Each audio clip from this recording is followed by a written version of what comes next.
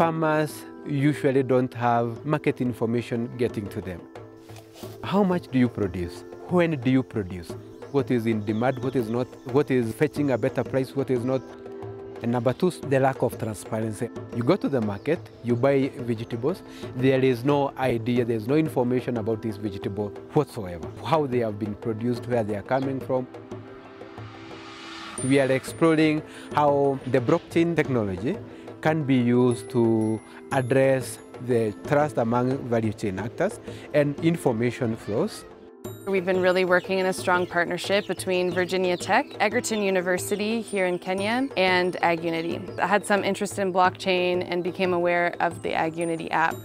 AgUnity is a technology company. We are serving the last mile. The last mile are usually the type of communities who are the last one who get to access services to finances or telecommunication signal, technologies to smartphones, for instance.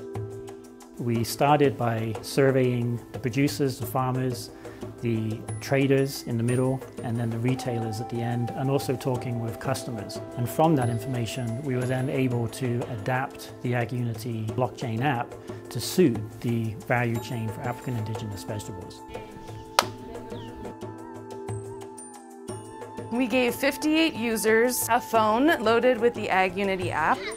I've just bought her vegetables at 80 shillings. So she wants to give me the vegetable, we want to transact. Essentially, each actor has their own unique QR code, and when a transaction is happening, the price and the quantity that's being transacted, as well as the variety, all of that information is entered into the seller's phone. Once they both agree that everyone accepts, they scan the QR code. Then when the buyer pays the seller, another scan of the QR code occurs.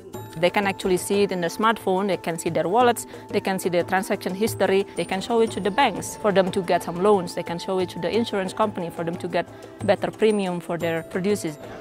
The main objective of AgUnity is to empower people through the data. Blockchain can be really useful because when we put an immutable ledger system where everybody can learn to trust the data, they can learn to trust the people that they are transacting with.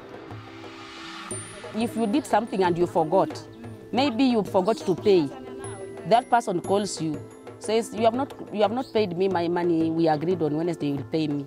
You may say yes or no, but you can go to the phone to confirm so that you don't argue. The phone can remind you where you made a mistake. Imenisaidia kwa mambo ya kutembea kutafuta, wate, kutafuta wanunuzi. Imenisaidia kwa sababu nikiwa na mboka nitapika tu simu, Jemima anajua niko na mboka, ananiletea, ananiambia leta. Sitatembea kutafuta wanunuzi.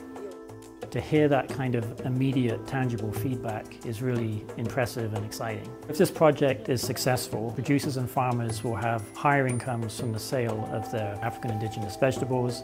Consumers would have knowledge and information about the value and would be purchasing more, which would in turn hopefully increase the nutrition intake of their families. Conventional research I'm used to, what would have done is would have gone to the field, done our research, have our findings, write journal papers, write a report, end of story. But now with the research translation partner, when we are exiting the project, we will leave the farmers with real solutions to these problems. This really now makes research more interesting The final part of the embedded research translation model is then to get it out. And so that's sort of the phase that we're in now as we're learning the positive impacts that it's had on the users. Without USAID's funding through the Laser Pulse project, we obviously wouldn't have been able to accomplish any of this. It's not even just that they funded our research idea and we've been able to develop the AgUnity app. We've really identified many connections, many opportunities that will extend far beyond this project. There's so much potential for it to transform agriculture in Kenya. I really have a big dream for it. If I'm enabled, I want to go far. We want to feed the whole world a good thing. Good, organically grown African leafy vegetables for all.